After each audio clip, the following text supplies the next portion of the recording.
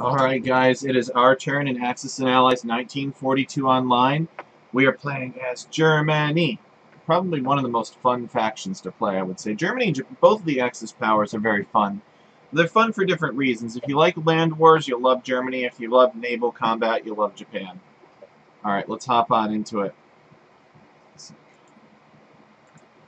our turn.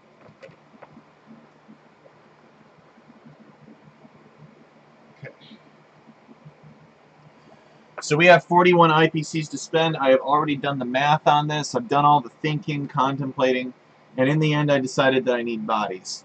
Um, almost as much as I need planes. I like to buy at least two planes per turn. So we're going to buy two fighters, and we're going to buy seven infantry.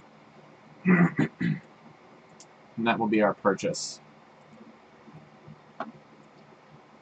So in terms of combat, eh, he's got a destroyer here, and a cruiser here.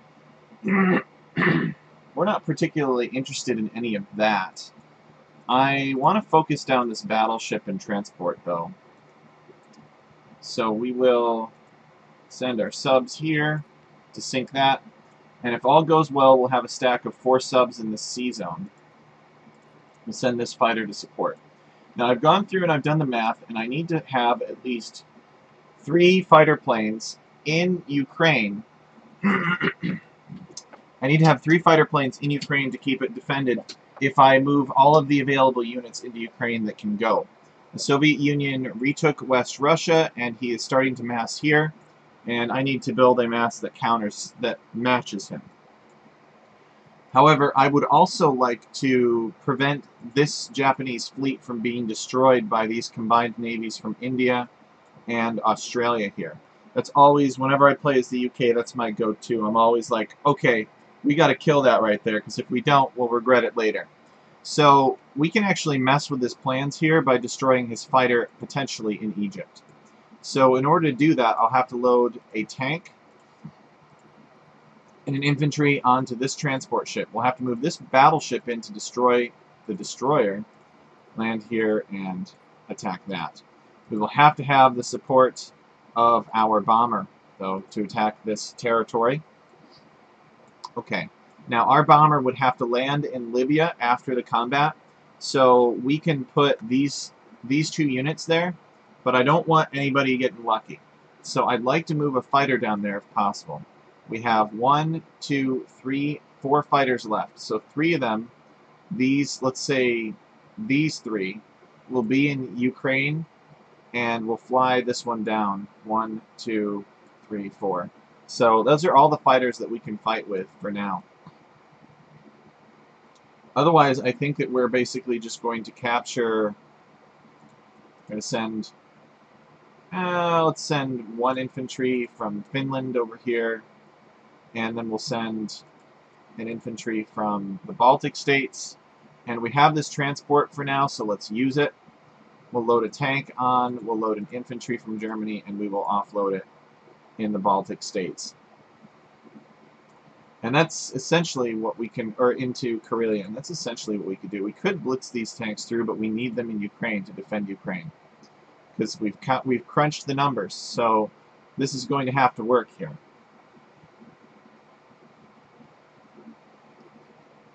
So I don't care so much about this. Although, he could probably counterattack pretty successfully up here. So we should be careful in that case. Maybe we don't want to send our tank. Just realize that. Hold on. Alright. So I think we will send we will send um, two infantry and and a fighter to attack that. So this guy who's right here in Finland, who's going along, we'll cancel that. And this fighter we will have join the fight up here. These remaining fighters will congregate here. And this transport ship, what's what we got going into Finland right now? Or Karelia. Let's cancel that battle and we'll just redo it.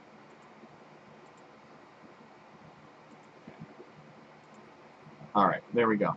So, let's load these two guys up here unload there, This fighter will support, and that that should be good, actually, for now. And the rest of it will be non-combats. So this is our big main combat here. If we can knock out this fighter, we can save this Japanese fleet right here. So we'll see if we can we can make that dream become a reality.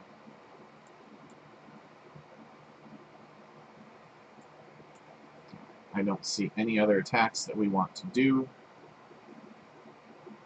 You know, depending on our losses here, we might we might move into Karelia, but we need a lot of these units here. So. Strong, strong, and implausible. What? But I calculated this. I calculated this. It should be fine. Unless, unless there's some shenanigans behind the scene. Alright, let's go to our next phase.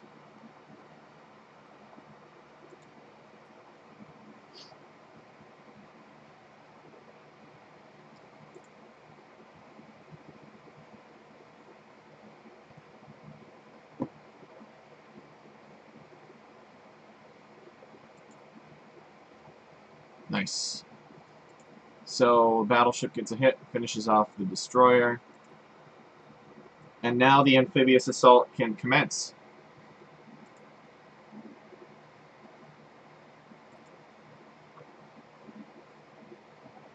Alright, this is an important battle. This is the most important battle. We remember, we don't have to take the territory, we just have to kill the fighter. Alright, two hits. Not too bad. Alright, two hits. Not too bad. Um, we need to press on. Okay, we got his tank. We got our tanks. Let's press on. Okay, we got him. He's probably going to get us. No, he did not get us. Alright, nice. So we destroyed that fighter. Implausible. Whatever.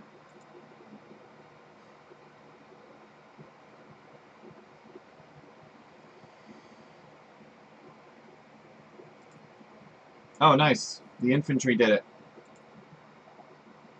He gets an infantry. We have one left over, so it is fine.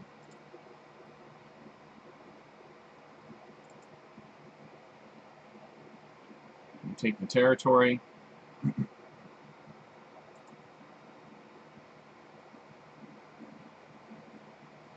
Alright, four subs and a fighter against a battleship. Let's see what we can do. Surprise strike. Oh, yeah.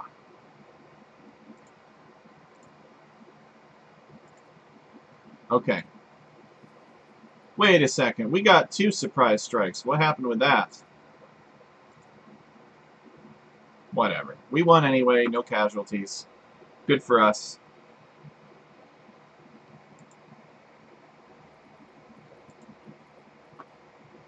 Okay, non-combat move time.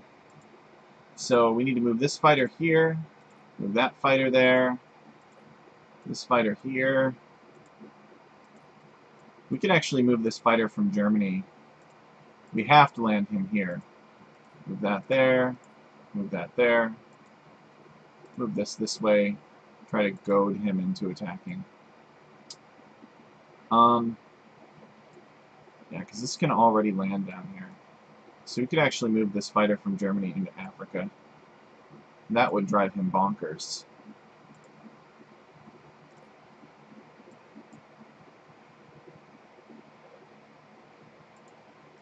Move that there. Move that there. So we'll have three infantry in the United Kingdom. Move this to here. This tank.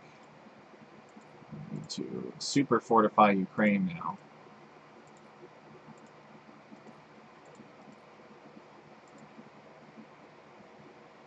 Move him there. These through here. We are not going to move the cruiser. We're probably going to lose the cruiser anyway. Um, do we move these infantry from Karelia? I think we, or from Finland, I think we leave them there. And actually, I think that we move these guys from Norway into Finland to allow us to counterattack in Karelia later if he retakes it. We'll leave this anti-air gun there. We may actually consider moving this anti-air gun up. Let's move into Poland.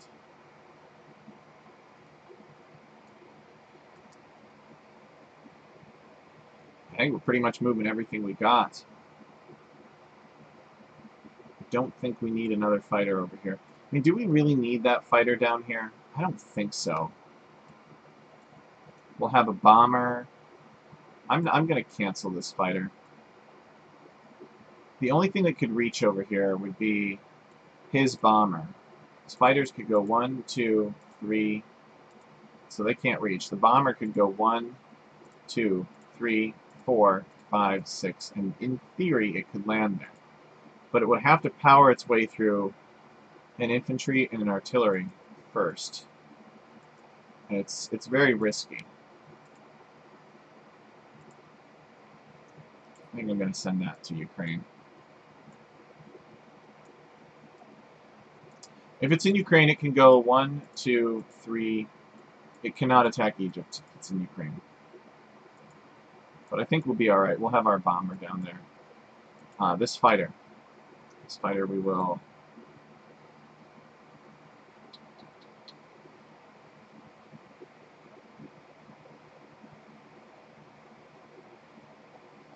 It's just a tank. We'll send that to France. He could take Norway, but I, I don't think he will. If he does, we'll have five infantry in Finland and we'll take it back.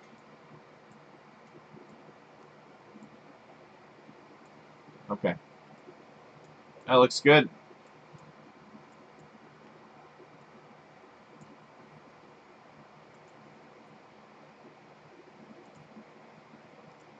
Let's make sure that we put...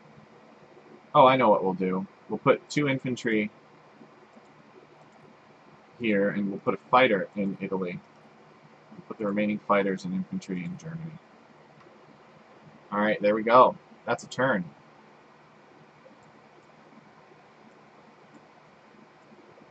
So he will probably take these two back, if I had to guess. And we'll have to be careful about this, because we've only got 10 infantry here for now. But we may be able to move some in by sea. We'll see.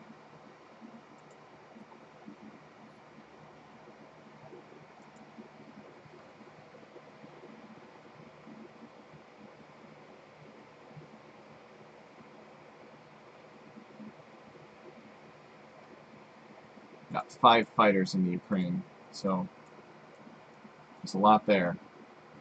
Just built two more.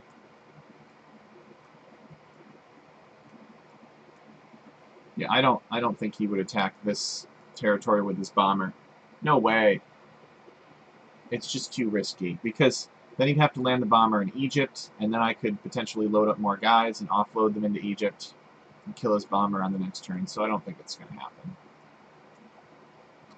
Although, he might attack the battleship and the transport with some of his stuff outside of India now that he can't hit this. He might attack this with a bomber and maybe a fighter. One, two, three, four. Now he could only move one fighter in. So you'd have a fighter, a cruiser, two cruisers potentially. But it would cost him a lot of time and resources, and it would put India at further risk. So we'll see what happens, see what he does. But he doesn't have a lot of good options. He has options, but they're not good options. So I'm excited to see how this shakes out. Still, though, I, I'm outnumbered here in infantry by 50%, and that number might grow. Hopefully we're able to keep up with it all. Alright, thanks everybody for tuning in, and hopefully we'll see you guys again soon.